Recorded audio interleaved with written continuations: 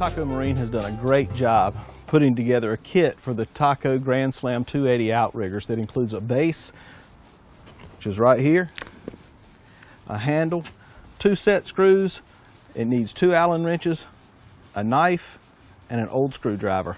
Real simple. So let me show you how to install the base and the handle.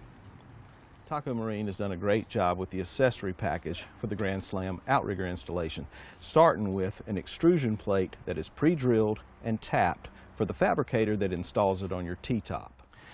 The only part of the Grand Slam outrigger installation project that's not a do-it-yourself is the extrusion. However, Taco did make it simple. Just make sure that you get the right length, which is on their website, for your T-top fabricator that can weld it in place and then you'll be ready to go.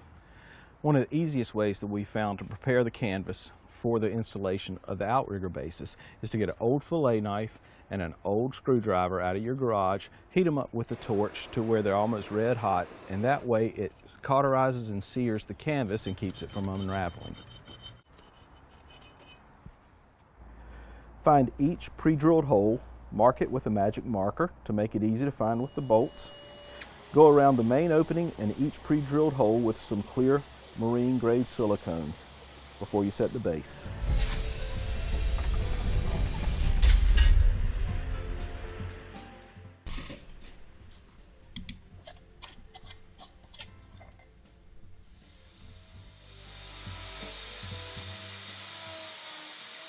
Place the handle into the base with the finger grips up.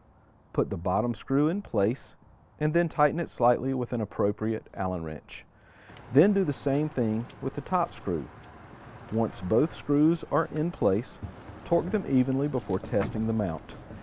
After the screws are tight, check the different degree settings by pulling down on the handle and rotating the base back and forth. Great accessories from Taco Marine.